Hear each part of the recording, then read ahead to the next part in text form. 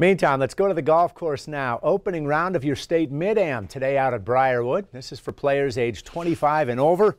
And boy, they hit some nice shots today. Here we go. Pick it up on the first hole. This is your new senior am champ, Jerry Pearsall from right here in Billings. Safe play. Sets him up with an easy two putt. This for par. Got it. He opens with a two over 74. He's tied for fourth. Same hole, Jim Bob Coleman lips out for birdie. Coleman won this tournament last year. Now on the par 4 fourth, long birdie putt for Coleman again, and he burns the edge.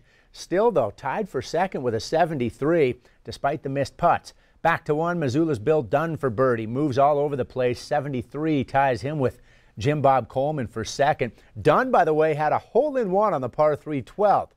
Josh Hedge has won his share of tournaments throwing darts early today. That's his approach on one. That's his birdie putt as he makes it look so easy. Hedge now to the fourth hole. That's his tee shot. Here comes his approach, and it's even tighter for a tap in birdie effort. Josh Hedge, your leader with an even par 72 as we take you to the board to show you day one of the three round tournament. It's Josh Hedge, Jim Bob Coleman, Billy Dunn, Jerry Pearsall, Barry Roberts all in the mix, plus five other players, including Marcus Drange, tied for sixth right now. So a log jam, just three strokes separating the leader